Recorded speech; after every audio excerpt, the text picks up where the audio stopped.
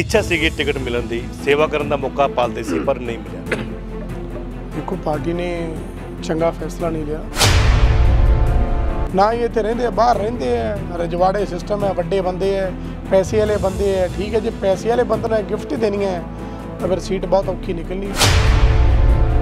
Congress party ਹਰ ਵਾਰੀ ਬਾਹਰੋਂ ਲੈ ਕੇ, ਪਲੋਸ ਕੇ ਅਕਾਲੀ ਦਲ ਦੀ ਸੀਟ ਝੋਲੀ 'ਚ ਪਾ ਦੇਗੀ, ਤਾਂ ਇਹ ਬਿਲਕੁਲ ਮੰਦਭਾਗਾ ਫੈਸਲਾ। ਇਹਦੇ ਤੇ ਦੁਬਾਰਾ ਸੋਚਣਾ ਚਾਹੀਦਾ, ਕੋਈ ਵੱਡੀ ਗੱਲ ਅੱਗੇ ਵੀ ਟਿਕਟਾਂ ਬਦਲੀਆਂ ਜਾਂਦੀਆਂ। ਪਰ ਜੇ ਜਲਾਲਾਬਾਦ ਦੀ ਸੀਟ ਕੱਢੀ, ਇਹਨਾਂ ਨੂੰ ਟਿਕਟ ਬਦਲਣੀ ਹੀ ਚਾਹੀਦੀ। ਜਿਮਨੀ ਚੋਣਾਂ ਦੇ ਐਲਾਨ ਤੋਂ ਬਾਅਦ ਸਭ ਦੀ ਨਿਗਾਹ ਸੀਗੀਆਂ ਕਿ ਪਾਰਟੀ ਜੋ ਹੈ ਕਿਸ ਨੂੰ ਕਿੱਥੋਂ, ਕਿਹੜੀ ਟਿਕਟ ਦੇਵੇਗੀ? ਖੁਲਾਸਾ ਹੋਇਆ, ਕਾਂਗਰਸ ਸਭ ਤੋਂ ਪਹਿਲੇ ਅੱਗੇ ਆਈ ਅਤੇ ਆਪਦੇ ਯੋਧੇ ਮੈਦਾਨ ਵਿੱਚ ਉਤਾਰੇ। ਪਰ ਇਸ ਸਭ ਦੇ ਬਾਵਜੂਦ ਜਿਨ੍ਹਾਂ ਲੋਕਾਂ ਦੀ ਇੱਛਾ ਸੀਗੀ ਕਿ ਇਸ ਵਾਰ ਉਹਨਾਂ ਨੂੰ ਟਿਕਟਾਂ ਮਿਲਣਗੀਆਂ, ਉਹਨਾਂ ਨੂੰ ਨਾਰਾਜ਼ਗੀ ਦਾ ਸਾਹਮਣਾ ਕਰਨਾ ਪਿਆ ਅਤੇ ਕਿਤੇ ਨਾ ਕਿਤੇ ਉਹਨਾਂ ਦੇ ਮਨ ਵਿੱਚ ਅੱਜ ਰੋਸ਼ ਵੀ ਜ਼ਰੂਰ ਹੈ। ਅਸੀਂ ਗੱਲ ਕਰ ਰਹੇ ਹਾਂ ਜਲਾਲਾਬਾਦ ਦੀ, ਜਿੱਥੇ ਕਿ ਕੁਝ ਹੀ ਸਮਾਂ ਪਹਿਲਾਂ ਗੋਲਡੀ ਕੰਬੋ ਨੇ ਆਪ ਦਾ ਸ਼ਕਤੀ ਪ੍ਰਦਰਸ਼ਨ ਕੀਤਾ ਸੀ ਅਤੇ ਕਾਂਗਰਸ ਹਾਈ ਕਮਾਨ ਕੋਲ ਗੱਲ ਕਹੀ ਸੀ ਕਿ ਮੈਂ ਜਲਾਲਾਬਾਦ ਦਾ ਹਾਂ, ਜਲਾਲਾਬਾਦ ਮੇਰਾ ਹੈ, ਇਸ ਕਰਕੇ ਮੈਨੂੰ ਟਿਕਟ ਦੀ ਜੋ ਹੈ ਪਹਿਲ ਦਿੱਤੀ ਜਾਵੇ। ਪਰ ਹੋਇਆ ਕੀ, ਟਿਕਟ ਦਿੱਤੀ ਇੱਕ ਬਾਹਰੀ ਨੂੰ ਪੈਰਾਸ਼ੂਟ ਰਾਹੀਂ ਉਮੀਦਵਾਰ ਉਤਾਰਿਆ ਗਿਆ। ਗੋਲਡੀ ਸਾਡੇ ਨਾਲ ਮੌਜੂਦ ਨੇ। ਗੋਲਡੀ ਜੀ। ਇੱਛਾ ਸੀਗੀ ਟਿਕਟ ਮਿਲਣ ਦੀ, ਸੇਵਾ ਕਰਨ ਦਾ ਮੌਕਾ ਪਾਲਦੇ ਸੀ, ਪਰ ਨਹੀਂ ਮਿਲਿਆ। ਦੇਖੋ, ਪਾਰਟੀ ਨੇ ਚੰਗਾ ਫੈਸਲਾ ਨਹੀਂ ਲਿਆ। ਕਿਉਂਕਿ ਮੈਂ ਸਮਝਦਾ ਵੀ ਜੇ ਇਹ ਫੈਸਲਾ ਲਿਆ ਵੀ ਸ਼ਾਇਦ ਜਲਾਲਾਬਾਦ 'ਚ ਕੋਈ ਬੰਦਾ ਉਹਨਾਂ ਦੀ ਪਾਰਟੀ ਦੇ ਕਾਬਲ ਹੀ ਨਹੀਂ, ਜਿਹੜਾ ਇਹਨਾਂ ਨੇ ਫੈਸਲਾ ਲਿਆ। ਬਾਹਰੋਂ ਬੰਦੇ ਲਿਆ ਲੈ ਕੇ ਪੈਰਾਸ਼ੂਟ ਪਿਛਲੀ ਵਾਰੀ ਵੀ ਸਾਨੂੰ ਐ ਗਿਫਟ ਦਿੱਤਾ। ਉਸ ਤੋਂ ਬਾਅਦ ਵੋਟਾਂ ਪੈਣ ਤੋਂ ਬਾਅਦ ਕਦੇ ਜ਼ਿੰਦਗੀ 'ਚ ਵੀ ਨਹੀਂ ਉਸ ਤੋਂ ਬਾਅਦ ਸਾਡੇ ਇੱਥੇ ਆਏ। ਉਹੀ ਸਾਡੇ ਹਾਲਾਤ ਫੇਰ ਹੋਣੇ ਆ। ਪਰ ਜੇ ਸਾਡੇ ਲੋਕ ਐਂ ਵਿਚਾਰੇ ਜੁੱਤੀਆਂ ਖਾਂਦੇ ਰਹਿਣਗੇ, ਕਦੇ ਅੱਗੇ ਵੀ ਨਹੀਂ ਆ ਸਕਦੇ। ਫਿਰ ਸ਼ਾਇਦ ਮੈਨੂੰ ਨਹੀਂ ਲੱਗਦਾ ਵਿੱਚ ਮੇਰਾ ਰੈਜ਼ਿਗਨੇਸ਼ਨ ਬਿਲਕੁਲ ਜਾਇਜ਼ ਹੈ। ਜੇ ਜਲਾਲਾਬਾਦ ਦੇ ਲੋਕਾਂ ਨੂੰ ਇਸ ਕਾਬਲ ਹੀ ਨਹੀਂ ਸਮਝਦਾ ਕੰਸੀਡਰ ਵੀ ਨਹੀਂ ਕਰਿਆ ਜਾਂਦਾ। ਫਿਰ ਇਹ ਹੋਣਾ ਵੀ ਜ਼ਰੂਰੀ ਸੀ। ਜਿੱਥੇ ਪਹਿਲੇ ਹੁੰਦਾ ਸੀਗਾ ਲੋਕਾਂ ਦੀ ਇੱਕ ਰਾਏ ਲਈ ਜਾਂਦੀ ਸੀ ਨਵਜ ਪਛਾਣੀ ਜਾਂਦੀ ਸੀ ਕਿ ਕੌਣ ਬੰਦਾ ਕੈਪੇਬਲ ਹੈਗਾ ਹੈ। ਹੁਣ ਕੀ ਹੋਇਆ ਕਿ ਜੋ ਉਮੀਦਵਾਰ ਉਤਾਰੇ ਨੇ ਕਿ ਉਹਨਾਂ ਬਾਰੇ ਕੋਈ ਗੱਲਬਾਤ ਹੋਈ? ਇੱਥੋਂ ਦੇ ਜੋ ਕਾਂਗਰਸੀ ਲੀਡਰਸ ਨੇ ਕਾਂਗਰਸੀ ਜਨਤਾ ਹੈ ਜੋ। ਜਲਾਲਾਬਾਦ ਦੀ ਜਨਤਾ ਨਾਲ ਅਜੇ ਤੱਕ ਨਾ ਉਸ ਬੰਦੇ ਦਾ ਕੋਈ ਤਾਲਮੇਲ ਹੈ। ਨਾ ਹੀ ਉਹ ਬੰਦਾ ਕਦੇ ਸਾਡੇ ਦੁੱਖ ਸੁੱਖ 'ਚ ਆਇਆ।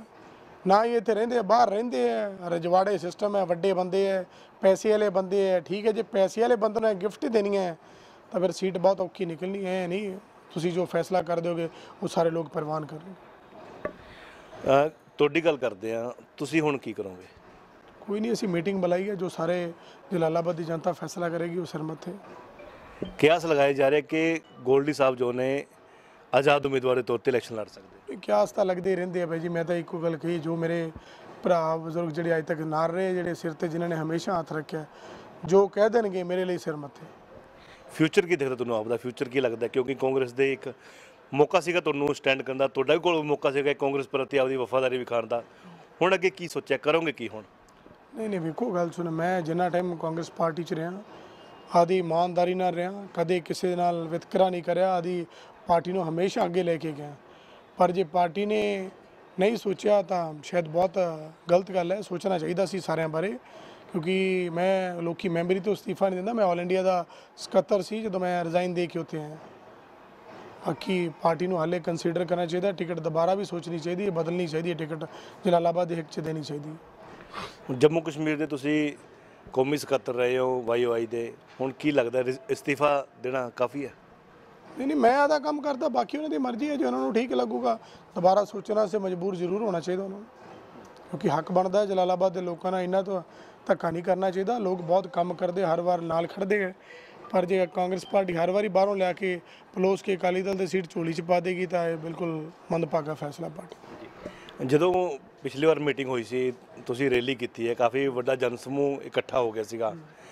ਉਦੋਂ ਤੁਸੀਂ ਗੱਲ ਕਹੀ ਸੀ ਕਿ ਟਿਕਟ ਜੇਕਰ ਕਿਸੇ ਹੋਰ ਨੂੰ ਮਿਲਦੀ ਤੁਸੀਂ ਸਾਥ ਦਿਓਗੇ। ਹੁਣ ਫਿਰ ਦਿੱਕਤ ਕਿਵੇਂ? ਨਹੀਂ ਨਹੀਂ ਅਸੀਂ ਕਦੋਂ ਕਹਿੰਦੇ ਆ ਲੋਕਲ ਬੰਦੇ ਨੂੰ ਨਾ ਦਿਓ? ਬਾਹਰੋਂ ਕਿਉਂ ਦਿੰਦੇ ਹੋ ਸਾਡੇ ਵਾਸਤੇ? ਜਲਾਲਾਬਾਦ 'ਚ ਕੋਈ ਬੰਦਾ ਕੈਪੇਬਲ ਹੀ ਹੈ ਨਹੀਂ। ਇਸ ਗੱਲ ਦਾ ਜਵਾਬ ਮੈਂ ਤਾਂ ਮੰਗਿਆ ਤੁਸੀਂ ਦੱਸ ਦਿਓ ਜੇ ਜਲਾਲਾਬਾਦ ਦੇ ਬੰਦੇ ਕੈਪੇਬਲ ਨਹੀਂ ਕਿ ਕੋਈ ਕਹਿ ਦੇਣ ਵੀ ਜਲਾਲਾਬਾਦ ਦਾ ਬੰਦਾ ਕੋਈ ਕਾਬਲ ਨਹੀਂ ਫਿਰ ਠੀਕ ਹੈ ਕੋਈ ਇਤਰਾਜ਼ ਨਹੀਂ।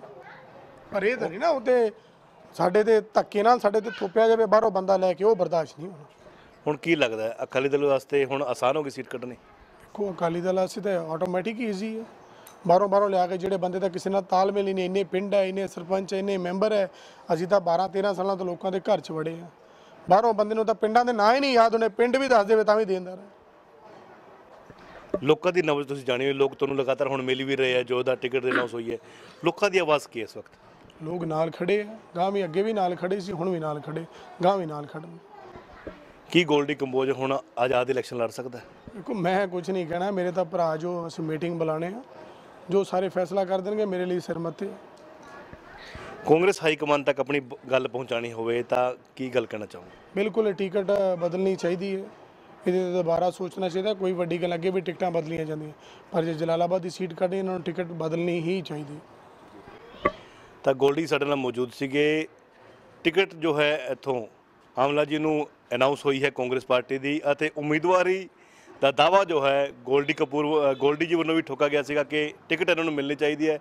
ਅਤੇ ਕਿਤੇ ਨਾ ਕਿਤੇ ਅਕਾਲੀ ਦਲ ਦੀ ਰਸ ਅਕਾਲੀ ਦਲ ਦਾ ਰਸਤਾ ਜੋ ਹੈ ਉਹ ਸਾਫ਼ ਹੁੰਦਾ ਦਿਖਾਈ ਦੇ ਰਿਹਾ ਹੈ ਇਸ ਸੀਟ ਨੂੰ ਲੈ ਕੇ ਕਿਉਂਕਿ ਲੋਕਲ ਜੋ ਵਿਰੋਧਤਾ ਹੈ ਉਹਦਾ ਕਿਤੇ ਨਾ ਕਿਤੇ ਸਾਹਮਣਾ ਕਾਂਗਰਸ ਨੂੰ ਕਰਨਾ ਪਵੇਗਾ ਕਿਉਂਕਿ ਲੋਕ ਜੋ ਹਕਾ- ਭਾਰੀ ਇਕੱਠ ਜੋ ਹੋਇਆ ਸੀਗਾ ਉਹਦੇ ਵਿੱਚ ਦਿਖਾਈ ਦੇ ਰਿਹਾ ਸੀਗਾ ਕਿ ਕਾਂਗਰਸ ਜੋ ਹੈ ਇਕਜੁੱਟ ਹੈ।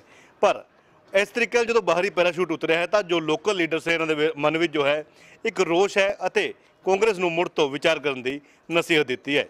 ਜਲਾਲਾਬਾਦ ਤੋਂ ਕੈਮਰਾ ਪਰਸਨ ਰਾਜੇਸ਼ ਬਾਗੜੀ ਦੇ ਨਾਲ ਸੂਰਜ ਪ੍ਰਕਾਸ਼, ਦੈਨਿਕ ਸਵੇਰਾ ਟੀਵੀ।